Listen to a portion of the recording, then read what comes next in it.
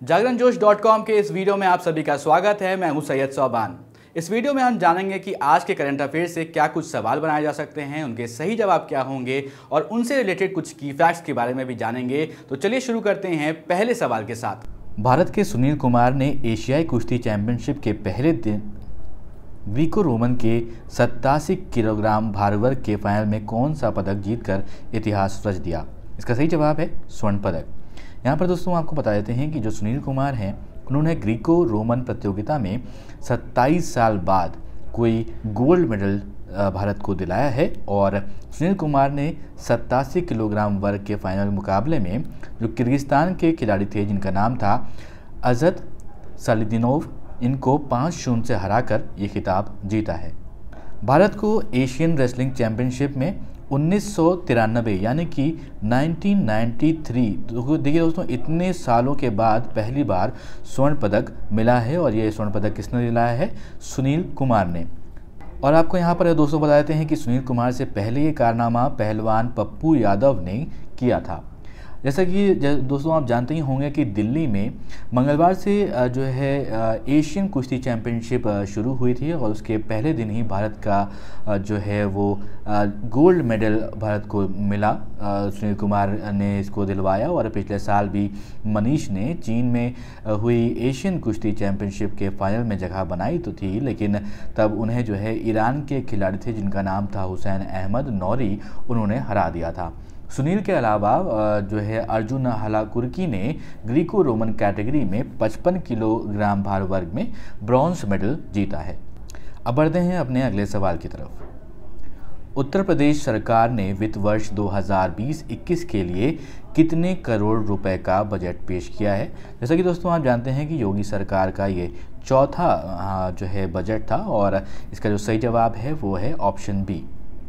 आपको दोस्तों बता देते हैं कि बजट का आकार जो है पिछले साल के मुकाबले इस साल करीब तैंतीस हज़ार करोड़ रुपए अधिक किया गया है और बजट में नई योजनाओं के लिए करीब ग्यारह हज़ार करोड़ रुपए का प्रावधान है। अयोध्या में उच्च स्तरीय पर्यटक संरचना के विकास के लिए पिचासी करोड़ रुपए की व्यवस्था की गई है और जबकि अयोध्या हवाई अड्डे के लिए 500 करोड़ रुपए का प्रस्ताव किया गया है।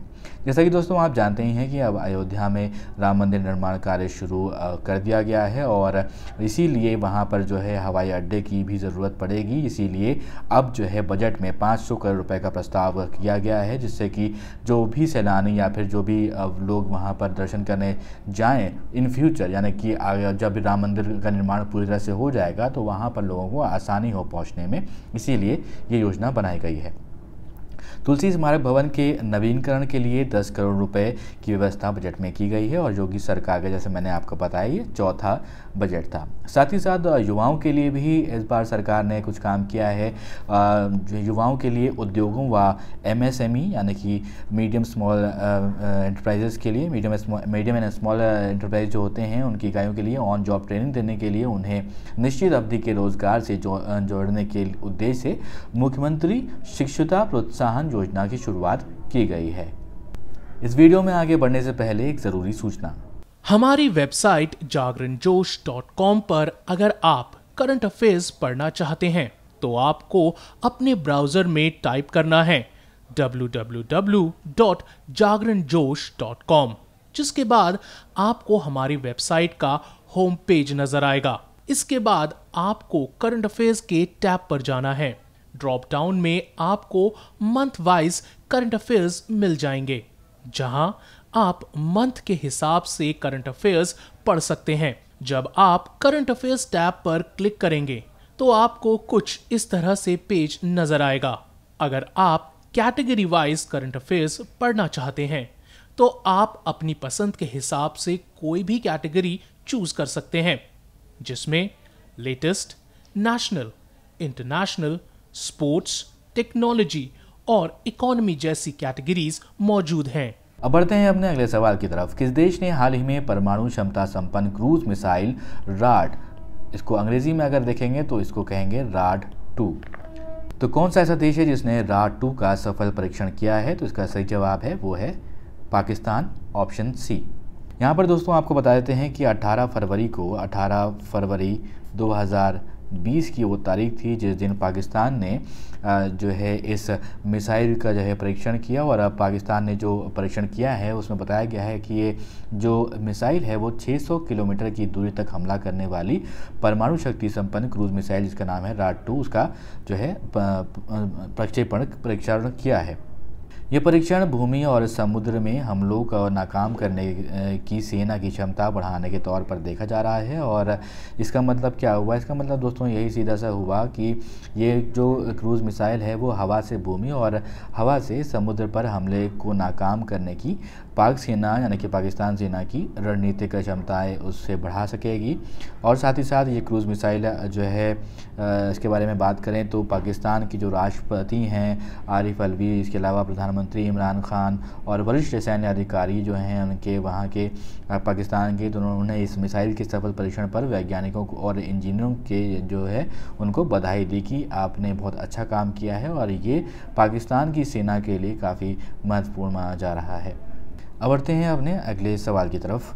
किस देश के राष्ट्रपति के रूप में अशरफ गनी ने दूसरे कार्यकाल को हासिल किया है? तो इसका जो सही जवाब है, वो है अफ़गानिस्तान। जैसा कि दोस्तों आपको बता दें यहाँ पर कि 28 सितंबर, यानी कि 28 सितंबर 2019 को चुनाव हुए थे और उनके नतीजे जो है उसको उस पर थोड़ा सा रोक लगाया गया था, क्योंकि जो अशरफ गनी के प्रतिद्वंदी थे, यानी कि अशरफ गनी के जो सामने थे, उनका नाम था अब्दुल्ला अब्दुल्ला, उन्होंने मतदान में धांधली के आरोप लगाए थे और इसी के चलते फिर जो है वोटों की गिनती दोबारा से की गई और इसी के कारण जो है परिणाम में तकरीबन पाँच महीने की देरी हो गई है। लेकिन उसके बाद अब ये सामने साफ़ हो गया है कि अशरफ गनी जो है दूसरी बार अफ़गानिस्तान के राष्ट्रपति चुन लिए गए हैं और वही होंगे राष्ट्रपति अफ़गानिस्तान के चुनाव आयोग के अनुसार। अशरफ गनी ने बतौर राष्ट्रपति उम्मीदवार पचास दशमलव छः चार प्रतिशत वोट हासिल किए और जो उनके प्रतिद्वंदी थे, जिनको मैंने आपको बताया, अब्दुल्ला अब्दुल्ला, उनको जो है महज उनतालीस दशमलव पाँच दो प्रतिशत वोट ही मिले थे। तो अब जो है अफ़गानिस्तान के दूसरी बार जो है राष्ट्रपति होंगे, वो हैं अशरफ गनी। अब बढ़ते हैं अपने अगले सवाल की तरफ़। मृदा स्वास्थ्य कार्ड दिवस निम्न में से किस दिन मनाया जाता है? इसका जो सही जवाब है, वो है 19 फरवरी। यहाँ पर दोस्तों, आपको सबसे पहले बताते हैं कि मृदा स्वास्थ्य कार्ड होता क्या है। इसको अंग्रेज़ी में समझें तो इसको कहते हैं सॉयल हेल्थ कार्ड स्कीम। तो ये जो योजना है, इसकी शुरुआत जो है, करी गई थी 19 फरवरी 2015 को राजस्थान में, सूरतगढ़ में और किसके द्वारा की गई थी? ये हमारे जो देश के प्रधानमंत्री हैं, श्री नरेंद्र मोदी जी, उनके द्वारा मृदा स्वास्थ्य कार्ड योजना की शुरुआत की गई थी। तो इस योजना का लक्ष्य क्या है, आप उसको समझते हैं। तो अगर लक्ष्य की बात करें तो देश भर के किसानों को मृदा स्वास्थ्य कार्ड प्रदान किए जाने में राज्यों का सहयोग करना है और इस योजना की सहायता से किसानों को अपने खेत की जो मिट्टी होती है, उसके स्वास्थ्य के बारे में सही जानकारी मिल पाएगी और इससे जो है किसान मनचाहे अनाज या फिर फ़सल उत्पाद कर सकते हैं। तो इसके दो फेजेस तो हो गए हैं दोस्तों। तो पहला जो फ़ेज़ था, उसमें अगर हम बात करें, यहाँ पर 2015 से 2017 की तो इसमें जो है करीब दस दशमलव सात चार करोड़ कार्ड दिए गए हैं। और दूसरे चरण की बात करें, ये तो हमने फ़ेज़ वन की बात करी। अगर हम फ़ेज़ टू की दोस्तों बात करें तो फ़ेज़ टू था 2017 से 2019 की। इसमें ग्यारह दशमलव छः नौ करोड़ जो है कार्ड वितरित किए गए हैं। अब बढ़ते हैं अपने अगले सवाल की तरफ़। State of India's bird report 2020 के अनुसार किस देश में उन्यासी फ़ीसदी यानी कि 79 परसेंट पक्षियों की तादाद घटी है? दोस्तों ये कोई और देश नहीं है यह है हमारा देश भारत। यहाँ पे आपको दोस्तों बता दें कि इस रिपोर्ट में आठ सौ सड़सठ। प्रकार के पक्षियों का अध्ययन किया गया था और इसमें यानी कि लॉन्ग टर्म रखा गया था। दीर्घ अवधि जो थी वो 25 साल की थी और लघु अवधि पाँच साल के आंकड़ों से जुटाई गई है और जो है इस रिपोर्ट में 101 प्रजातियों के संरक्षण पर अत्यधिक चिंता जताई गई है। देखिए दोस्तों, ये बहुत बड़ा नंबर है। 101 जो है प्रजातियों के जो संरक्षण की पर अत्यधिक चिंता जताई गई है। और आंकड़ों के मुताबिक अगर देखें तो पिछले 25 वर्षों में जो गौरैया है उसकी संख्या में कोई ज़्यादा कमी नहीं बताई गई है और उसकी जो स्थिति है वो स्थिर बताई गई है। वैसे आपने देखा होगा, ये महसूस भी किया होगा, अपने आसपास जो है अब जो गौरैयाँ हैं वो काफ़ी कम दिखती हैं। जैव विविधता के लिए मशहूर पश्चिमी घाटों पर साल 2000 से पक्षियों की तादाद में पचहत्तर फ़ीसदी तक कमी हुई है। आपको मैंने दोस्तों पिछले वीडियोस में बताया भी था कि जो इसके लिए एक समिट होता है, यानी कि जिसके मैंने, मैं आपको मैंने बताया था, किसे कहते थे? C M S COP thirteen वो भी जो है हमारे देश में 15 से 22 फरवरी के बीच में हो रहा है कंडक्ट कराया जा रहा है। उसके बारे में मैंने बात की थी आपसे। और हमारे जो देश के प्रधानमंत्री हैं, श्री नरेंद्र मोदी ने, उन्होंने हाल ही में वीडियो कॉन्फ्रेंसिंग के माध्यम से गांधीनगर में वन्य जीवों की प्रवासी प्रजातियों के संरक्षण पर तेरहवीं सी सम्मेलन का उद्घाटन किया था। उसी की मैंने बात की थी, उसके बाद अभी एक रिपोर्ट आई है, ये जारी की गई है और इसी की रिपोर्ट के ज़रिए ये बताया गया है। अब बढ़ते हैं अपने अगले सवाल की तरफ़। राजस्थान के किस शहर में प्रधानमंत्री फ़सल बीमा योजना पर चौथे राष्ट्रीय सम्मेलन का आयोजन किया गया है? इसका सही जवाब है, वो है उदयपुर ऑप्शन डी यहाँ पर दोस्तों आपको बता देते हैं कि इस सम्मेलन का आयोजन कृषि और किसान कल्याण मंत्रालय द्वारा किया गया था। और इस सम्मेलन में 140 से अधिक सदस्यों ने हिस्सा लिया था। इसमें अनाबार्ड, आरबीआई, बीमा कंपनी आदि ने हिस्सा लिया था। प्रधानमंत्री नरेंद्र मोदी ने प्रधानमंत्री फ़सल बीमा योजना को 18 फरवरी 2016 को लॉन्च किया था और इस योजना के अंतर्गत खरीफ फ़सल के लिए किसानों को केवल दो प्रतिशत का प्रीमियम, यानी कि टू परसेंट का प्रीमियम ही देना पड़ता है, जबकि रबी फ़सलों के लिए ये प्रीमियम डेढ़ प्रतिशत, यानी कि 1.5 परसेंट होता है। यहाँ पर आपको दोस्तों इस योजना के उद्देश्य के बारे में थोड़ा बता देते हैं कि तो इसका उद्देश्य जो है वो ये है कि प्राकृतिक आपदा, कीड़े और रोग की वजह से सरकार द्वारा अधिसूचित फ़सलों में से किसी को नुकसान की स्थिति में किसानों को बीमा कवर और वित्तीय सहायता दिया जाता है और किसानों की खेती में रुचि बनाए रखने के लिए प्रयास किए जाते हैं कि और उन्हें स्थायी आमदनी उपलब्ध कराई जा सके। और साथ ही साथ किसानों को कृषि के में इनोवेशन एवं आधुनिक पद्धतियों को अपनाने के लिए भी प्रोत्साहित किया जाता है इस जो है, योजना के तहत और कृषि क्षेत्र में ऋण की उपलब्धता सुनिश्चित किया जाता है। अब बढ़ते हैं अपने अगले सवाल की तरफ़। लाइनल मेसी और किसने संयुक्त रूप से Laureus World Sportsman of the Year award 2020 का पुरस्कार जीता है? यहाँ पर दोस्तों आपको बता देते हैं कि इसका जो सही जवाब है, वो है लुइस हैमिल्टन दोस्तों, हमने आपको याद होगा कि पिछले वीडियो में जो सवाल आपसे पूछा था, वो भी इस इवेंट के ज़रिए पूछा था और उसमें मैंने आपसे पूछा था कि किस खिलाड़ी को जो है स्पोर्टिंग मोमेंट 2000-2020 का पुरस्कार दिया गया है। उसके बारे में भी आगे बात करेंगे। अगला ही सवाल है उसके बारे में। तो पहले आपको मैं इसके बारे में बता देता हूँ कि इन पुरस्कारों का जो है वो 20 वर्षों के इतिहास में ये पहला मौका है जब दो दिग्गज खिलाड़ियों को ये संयुक्त रूप से अवार्ड दिया गया है। कौन है ये खिलाड़ी? पहले तो मैंने आपको बताया मेसी हैं। मेसी को दोस्तों आप लोग जानते होंगे कि ये अर्जेंटीना के फुटबॉल प्लेयर हैं, काफ़ी मशहूर प्लेयर हैं और इनको कई बार काफ़ी सारे अवार्ड से सम्मानित किया गया है। इसके बारे में भी हम चर्चा करते रहते हैं। साथ ही साथ लुइस हैमिल्टन जो दूसरे खिलाड़ी हैं, इनको मिला है। तो लुइस हैमिल्टन जो है फार्मूला वन रेस में के खिलाड़ी हैं और इन्होंने भी काफ़ी ज़्यादा जो है अवार्ड्स जीते हुए हैं। अपने लाइफ में लाइफ टाइम में जितने भी इवेंट्स खेले हैं, इन्होंने फार्मूला वन रेसेस भी काफ़ी सारी जीती हुई हैं। तो इनको ये, इन दोनों लोगों को अवार्ड दिया गया है।